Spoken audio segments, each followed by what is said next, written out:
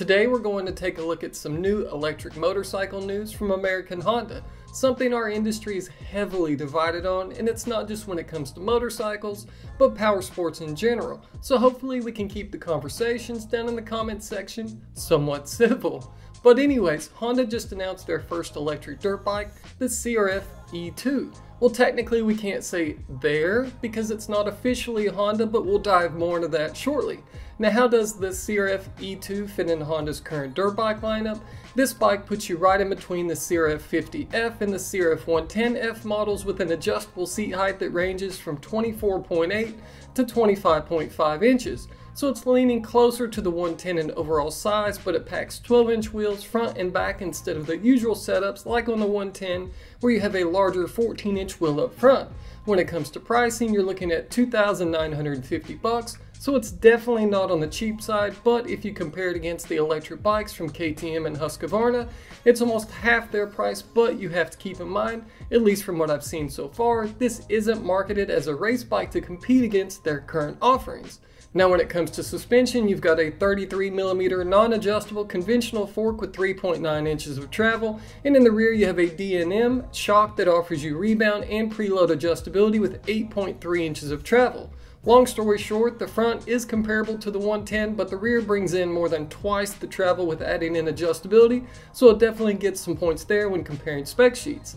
Its aluminum twin spar frame helps keep the weight down, which is definitely where it shines when comparing against the 50 and 110, as this bike tips the scales at only 106 pounds, which is 4 pounds less than the 50 and 64 pounds less than the 110 disc brakes front and rear instead of drums, so again, more points for the electric bike. Now how about the meat and potatoes? Its performance. Well, its horsepower figures won't excite you, but check out those torque numbers. Pair the weight savings up with those performance numbers out of its brushless 48 volt motor, and this thing sounds like it could be a little rocket ship. You've got two drive modes, stage one which tops out at 10 miles per hour and stage two that tops out at 20 miles per hour and to adjust those power modes, you've got a little LCD display on the left side of the bars to cycle through them. It also displays your speedometer and odometer as well as your average and max speeds too.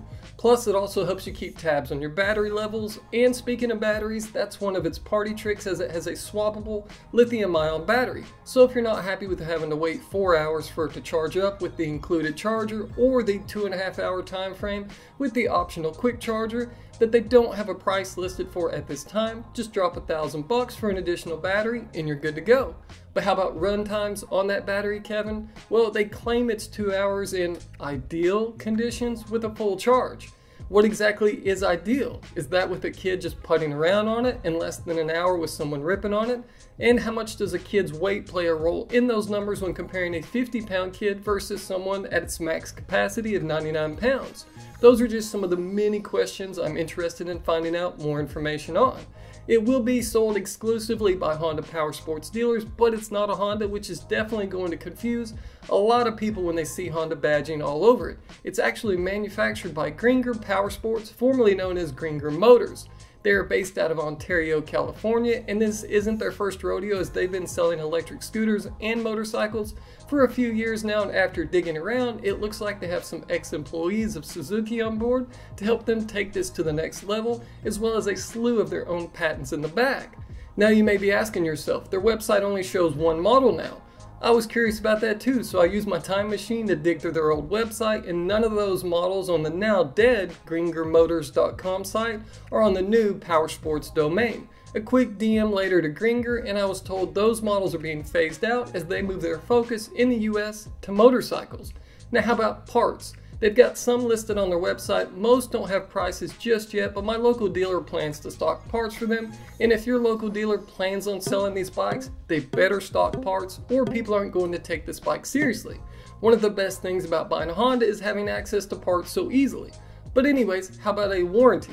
It comes with a 12 month, 3,000 mile warranty and I reached out to Greenger to see how that would work as technically this isn't a Honda so Honda techs won't be trained on how to properly repair these bikes right off the bat. Their response was that you can either work with the dealer you purchased the unit from or direct with Greenger, and depending on the claim, they may be able to ship the parts needed directly to you. It will all depend on what needs to be handled. And that's another thing I'm interested in seeing just how it plays out.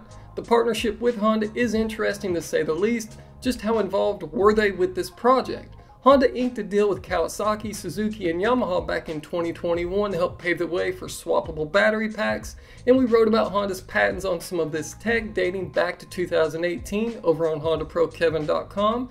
So how does all of this play into it with Greenger? American Honda isn't offering them currently, but in Japan, Honda has been toying around with electric models for some time now, and like I mentioned in the past video on the topic, they are planning to ramp up their effort on electric models, and by 2024, we'll start to see them dropping even more new models. So what does all of this mean when it comes to the relationship with Greenger and American Honda? I don't know, but it's another thing I'm super curious about and wish I could be a fly on the wall for some of those meetings. And what are my thoughts on it all? Well, it depends on how I look at it. Personally, I don't care for electric when it comes to toys we play with for fun, because to me, a huge part of that fun is hearing an engine and exhaust note. That's part of the overall experience, and different engines have different characteristics to them.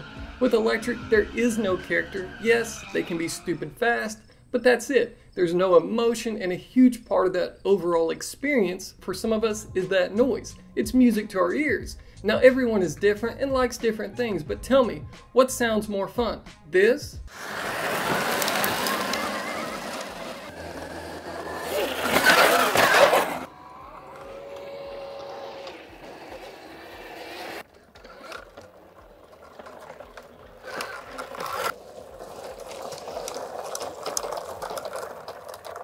Or this?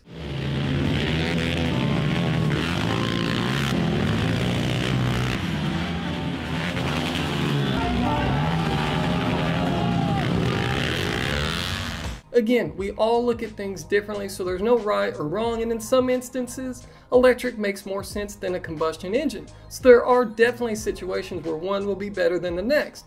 I just don't want to see them start to try and phase out our gas engines at the end of the day like they are planning to when it comes to the automobile side of things. Getting the whole electric versus gasoline side of things out of the way, what do I think about this bike? First off, I think it looks awesome and that's a step in the right direction. I know looks don't help how it rides, but you're crazy if you say looks don't matter at the end of the day. I wish they would have thrown a proper rear brake on it instead of the handlebar mounted setup like on a scooter. While I can see some benefits of it being there, if you're swapping back and forth from this to a normal bike, it could make for some mistakes when you think you're pulling the clutch but you grab a handful of brake instead. Another thing I'm curious about, in the owner's manual it says, for the safety of your vehicle, the wading depth under normal driving is less than 4 inches. Just how sensitive are they? They also list the ideal storage temps between 50 and 68 degrees Fahrenheit. Is it really going to be that big of a deal if it's stored in temps well above or below that on a regular basis? Just a few of the million questions I have, but I'll have my hands on one soon, and we'll hopefully be able to answer those questions and a lot more in the future video where we do more of a deep dive on this bike. Now aside from kids using this as that's what it was built for, the first thing that came to mind because I'm a big pit bike fan and love doing dumb stuff with my friends on them was how much fun this could be during those late night shenanigans where you're trying to be quiet but that excitement went out the window quickly when I saw the 20 mile per hour top speed. I'll be honest, I'm dumb when it comes to electric units and how much you can hack their speed controllers, but you've got to think that's a possibility.